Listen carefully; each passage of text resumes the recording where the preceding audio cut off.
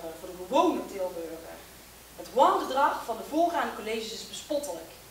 Blunders zoals het Midi-theater en de bekostigingen van het toneelclubje van Ruud Vreeman. Voor 6 ton aan kunst in het Pieter Vrede garage. Voor 6 ton. Dat is 3 euro per elke Tilburger. En dat is 3 euro te veel voor Corné Staps en voor Sean Jaans hier. Ik mag het eigenlijk niet zeggen, want er wordt aangifte tegen je gedaan. Maar de vrijheid van meningsuiting is een groot goed. En we hebben niks gezegd wat niet mag. We hebben niets gezegd wat niet klopt. Dus ik vraag aan jullie, willen jullie hier in de paradox meer of minder elitair gezwets horen over kunst in de openbare ruimte? Veel minder. Dan gaan we dat regelen. Want als het gaat over stad en cultuur, dan zijn er natuurlijk heel veel dingen uh, te zeggen over inderdaad kunstenaars en het nut daarvan uh, voor de stad. Maar volgens mij gaat het om een wisselwerking. Zouden uh, kunstenaars de stad verrijken of beïnvloeden en andersom ook.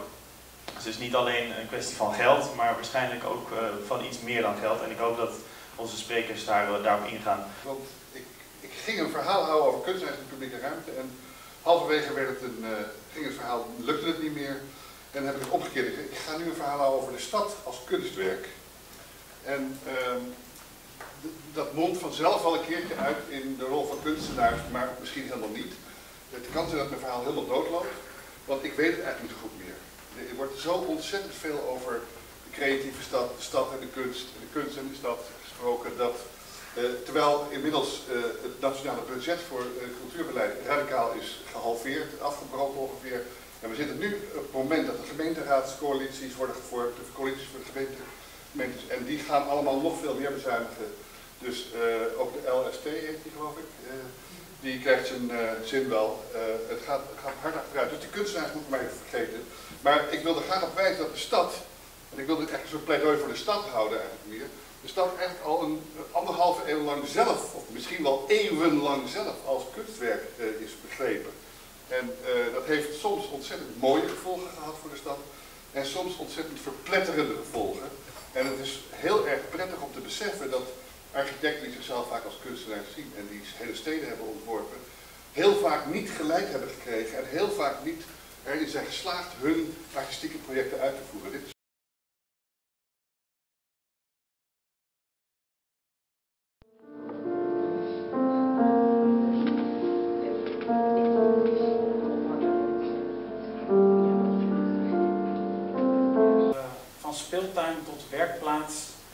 Raadsel van de creatieve stad.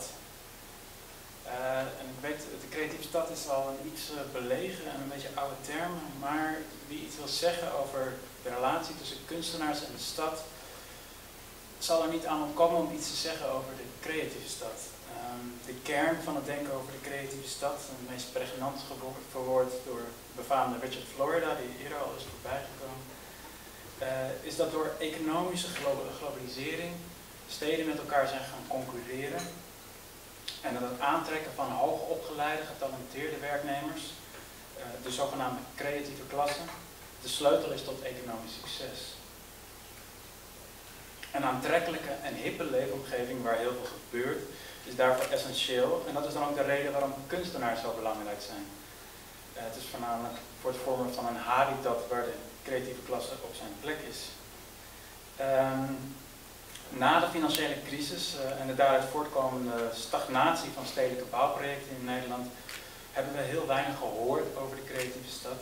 Uh, het zijn nog echter aannames die nog steeds het stedelijke beleid domineren uh, en de verhouding tussen kunstenaars en de stad bepalen. Je moet eigenlijk in contact staan met mensen die dan weer in contact staan met bijvoorbeeld de fondsen die subsidies verlenen er moet een bepaalde gemeenschap zijn van mensen waardoor jij bepaalde vormen van informatie krijgt van oh ja, dit is heel goed om te maken nu, want daarmee val ik op. En dit is heel erg slecht en, dit vindt eigenlijk niemand interessant. Dat type informatie uh, ontbreekt veelal voor de mensen die zich buiten de netwerken bevinden. Was dat de keten werd doorbroken.